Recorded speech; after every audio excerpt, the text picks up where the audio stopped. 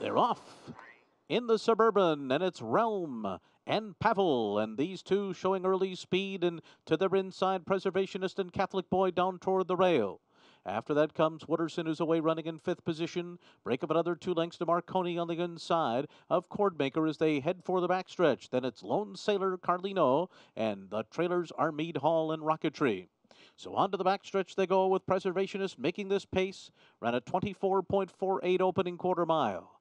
Leads the way over Catholic Boy, who now makes an early move, and Catholic Boy's going to go right now. Catholic Boy to the front. Preservationist will sit second now. Realm is third, then Wooderson, followed by Pavel on the outside, who's four and a half lengths off the lead, continuing up the backstretch. Then Marconi, Cordmaker in behind them. The half mile up the backstretch in 48.09 seconds. Lone Sailor is eight lengths off the lead. Then Carlino, Rocketry, and Mead Hall is the trailer.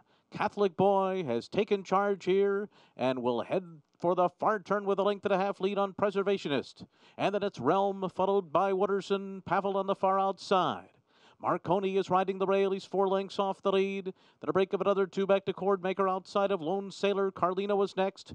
Rocketry is about 11 lengths behind at this stage. So Catholic Boy leads the way. Three quarters up in 111.69 seconds. The lead is a length. On the far outside, Pavel is second. Preservationist is coming back on the inside of Catholic Boy now. And these three kick on. Realm is next, and then comes Marconi.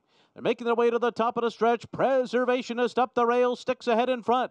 Catholic Boy on the outside is second, and Pavel is third in the center. It is Preservationist with the rail in the lead as they arrive at the eighth pole. Catholic Boy full out second and then it's Pavel on the outside. Junior Alvarado getting more from Preservationist, and he's pulling away.